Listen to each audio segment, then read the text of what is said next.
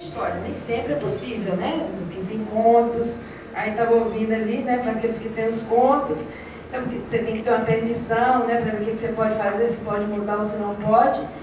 Mas assim, eu às vezes sinto isso também. Eu, até uma, uma coisa que sempre quando a gente participa de algum evento, como contador de história, é uma reclamação, não sei se pode dizer assim, mas o contador de história no evento da cultura, ele às vezes é colocado à margem.